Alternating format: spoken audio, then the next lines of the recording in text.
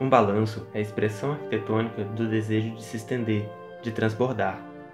Esse é um desejo que tivemos ao olhar o que o terreno nos oferecia: um grande caimento e uma vista lindíssima.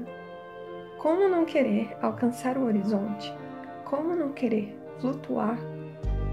Oi, pessoal! Hoje a gente vai falar um pouquinho sobre o projeto mais ousado que a gente já fez, a Casa Vanzo. É uma casa de 320 metros quadrados, num terreno extremamente inclinado. Então, se você gosta desse tipo de vídeo, já deixa seu like e vamos lá? Os principais desafios para esse projeto foram trabalhar com o terreno em um grande desnível, aproveitar a bela vista do terreno, otimizar a área para um programa relativamente grande utilizar materiais naturais de forma elegante. O desafio da implantação do terreno nos abriu para uma nova proposta, a proposta de criar um sobrado invertido. Assim, entramos pelo nível superior e então descemos.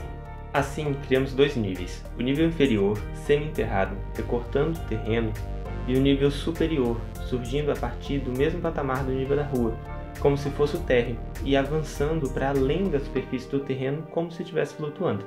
O nível superior abriga os quartos, enquanto no nível inferior encontra-se a parte social da casa.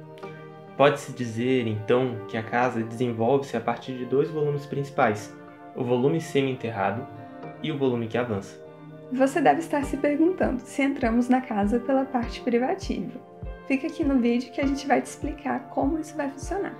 O desejo dos nossos clientes para a fachada era trazer um ar de simplicidade para casa. Esse desejo se adaptou perfeitamente às particularidades do terreno, que é super inclinado. O próprio fato de a fachada principal da casa não revelar a casa por completo, além de fazer parecer uma casa menor e térrea, vai ao encontro dessa ideia de simplicidade.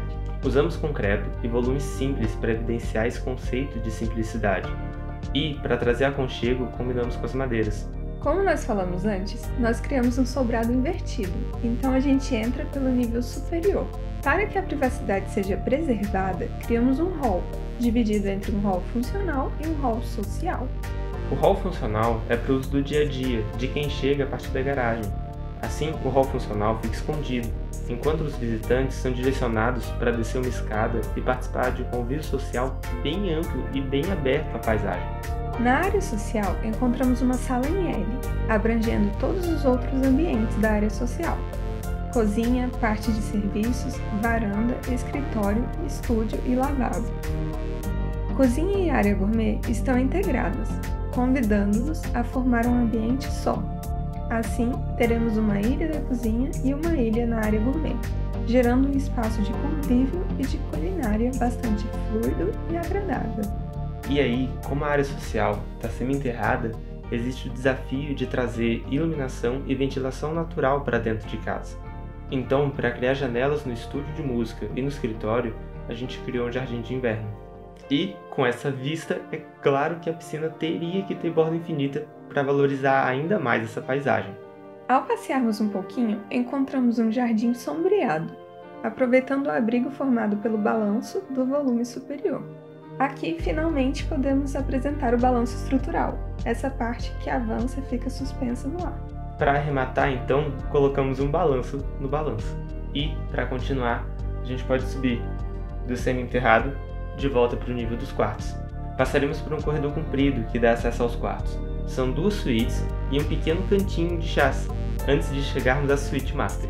A suíte master é a parte do volume que avança e que fica em balanço. Assim, quando estivermos apreciando a bela paisagem a partir do cantinho no final do quarto ou de dentro da banheira, estaremos de fato flutuando. E uma curiosidade extra: abaixo da banheira a gente tem mais de 5 metros de altura até o nível do terreno. Essas situações que o desnível do terreno nos apresentou irão gerar experiências únicas e formas diferentes de apreciar a vista, que é um verdadeiro espetáculo. E para finalizar, nós trouxemos algumas curiosidades sobre esse projeto tão diferente. A casa terá uma grande rampa pela lateral, trazendo mais acessibilidade. O terreno possui 13 metros de caimento. A questão acústica do estúdio de música será bastante trabalhada. Nossos clientes já fizeram até um piquenique para apreciar a vista do terreno. Então, gente, por esse vídeo é isso. A gente espera que vocês tenham gostado desse projeto que foi muito gostoso de fazer. E se vocês gostaram, deixa o like, se inscreve aqui no canal porque isso ajuda muito a gente a divulgar essas ideias diferentes. Então, até a próxima!